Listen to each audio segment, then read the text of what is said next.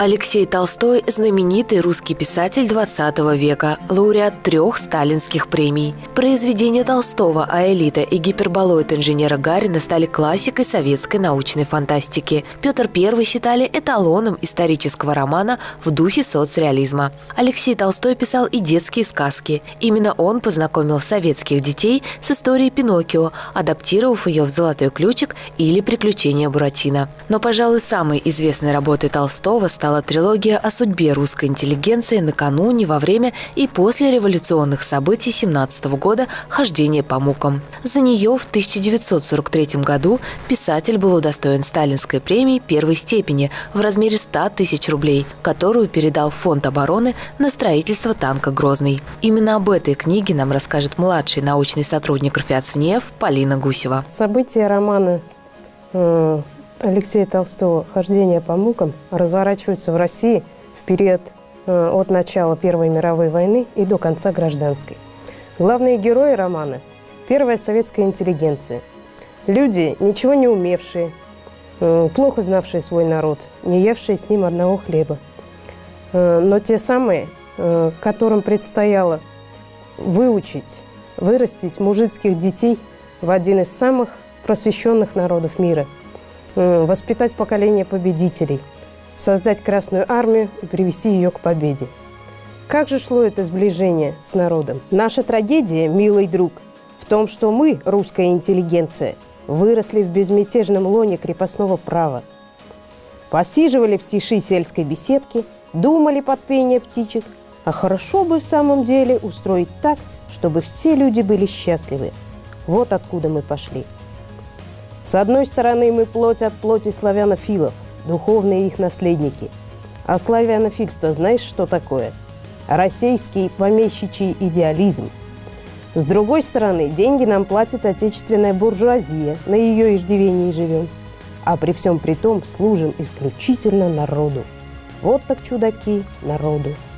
Казалось бы, за сто лет э, так изменилась жизнь, что эта книга уже ничему нас не научит не даст нам практического совета. И воспринимать ее сегодня мы можем э, только с точки зрения исторической и познавательной.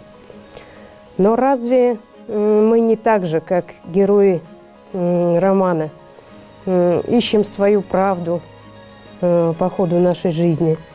Подчас мучительно, кто-то через любовь, э, кто-то через жизненный опыт путем непосредственных наблюдений – через личное несчастье, даже через ненависть.